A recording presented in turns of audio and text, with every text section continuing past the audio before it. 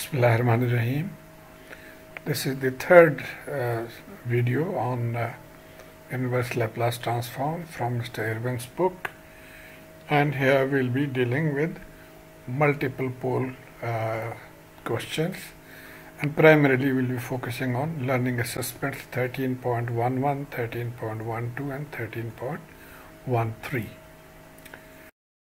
Before we start the actual problem solving, let's build some uh, basic concepts. If uh, the function is given in this form, that is one of the uh, denominator factor has a power r, then we break it down. We write k11 uh, and then um, the denominator we write the function with simple power 1 and then the other term will be k12 with power 2 and similarly k13 with power 3 etc. So this way we write and the value of k12 or k13 etc. can be found from this formula where r is the highest power that's given and uh, j is the terms that is if you are talking of this one then j is one first term here k12 is the second term so j2 here you can put that value. And you can uh, uh, calculate the values. But we'll not go into the details of this. Uh, we'll just tell you some simple way. Uh, with this example let's say this is the example that we have. So we have r is equal to 3 and uh, so uh, the way we'll write is that first we'll write k11 and then s plus 1 with power 1. Then we'll write k12, the s plus 1 with power 2 and finally k13 with s plus 1 with power 3. So this is for s plus 1 terms, 3 terms because power is 3 and then for this we'll give another name k2 or k3 etc not k1 so k2 and divided by s plus 5 so these are the four terms and in that we got to find the values.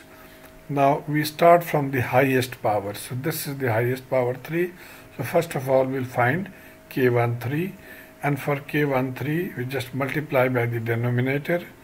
Uh, the fs is multiplied by the denominator. And whatever is the condition we find from here. And then uh, putting in we can calculate the value of k13 and then we go down. So k12 we have to differentiate. So 1 down we differentiate by 1 power same thing so d by ds of this and same conditions. The only thing you have to keep in mind that as you go down you have to increase the differentiation. So the first differentiation here and then if we go for k11 then we'll have these two different second differentiations of the same thing. In addition we have to plug in this value. Now this is coming into play. R is 3 and we are on the uh, first term so j is 1 so 3 minus 1 is 2 so 1 over 2 factorial that is 1 over 2 factorial and if there were more terms then we'll give 1 over 3 factorial etc but generally it is up to 3 so we'll just uh, restrict to uh, this um, calculation here okay now let's problems. The first one is simple one.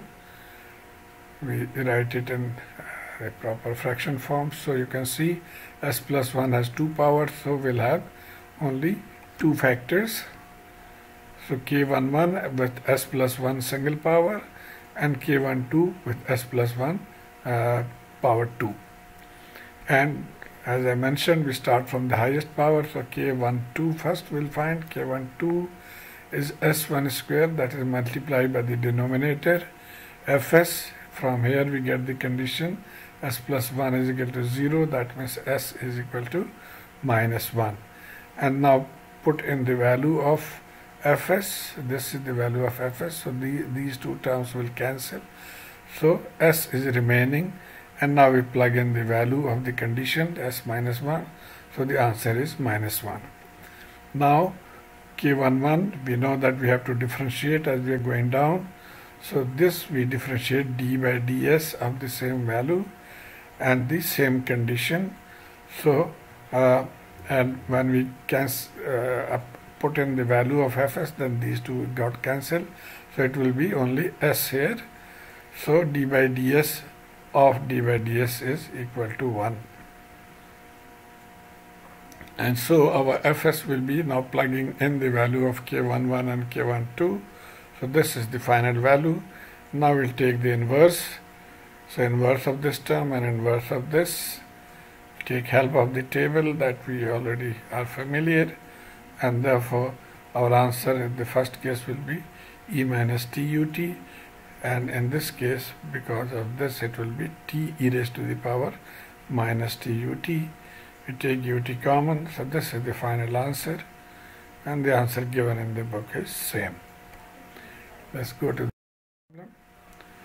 Now here we have s square term and we have s plus 1 so that means there will be two for terms for this and one for this. So total three terms.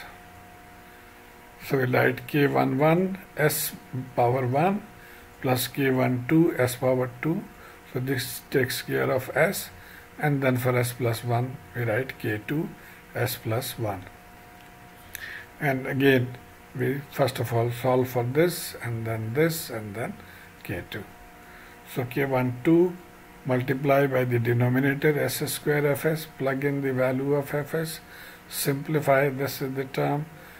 We put s is equal to 0 the condition. From here s is equal to 0 and so we will get 2 over 1 is equal to 2. And now k11, we have to take the differential. So we differentiate this term. So when we multiply s square by uh, this term, so we know this is the term that we get s2 over s1. So we have to take the differential of this term and for this you know we can use the uh, differentiation of the fraction method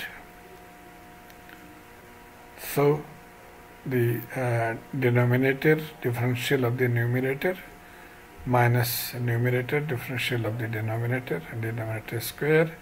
And now uh, we find out differential of s plus 2 we know is 1 ds is 1 similarly here ds is 1 so we get s plus 1 here and from here s minus 2 divided by s plus 1 square plugging in the value of 0 so this 0 this 0 this 0 so the answer is 1 minus 2 1 square or it is equal to minus 1 so this is the value of k11 and now we need to find k so we were here.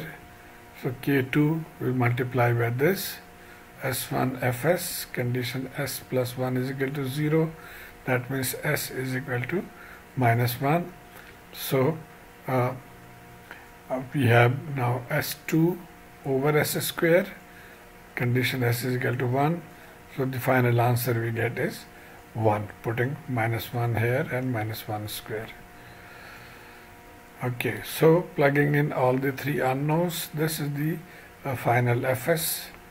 And now we take the inverse Laplace of each term. And again with the help of this table we write the value. 1 over s is ut. 1 over s square is t. And 1 over s plus a or 1 is e minus uh, t. So minus ut 2 tut and e minus tut take ut common. So this is the final answer and this is what is given in the book and finally, we have a little more complicated question. Now you can see we have three powers of s. So that means three terms for s and then one term, term for s plus 5. So we write it k11 single power, k12 power 2, k13 s power 3 and k2 divided by s plus 5. And Again we start from here, K13 first of all we find the highest value. So K13 is S3 denominator multiplied by Fs. So denominator multiplied by Fs. This will be 100 divided by S plus 5. Condition we getting from here is S is equal to 0. So s is equal to 0, that means k113 is at 20. Now we are going down, so there will be a differentiation here. So k12 is d by ds of this value and this we have already got from here is 100 divided by s plus 5 so differential of that. And uh, we can write it as s plus 5 power minus 1 then it will be easier for us to take the differential. So it will be minus 1 and s plus 5 power minus 2 multiplied by 100 so this is the answer. You can also do it by the fraction method if you are interested.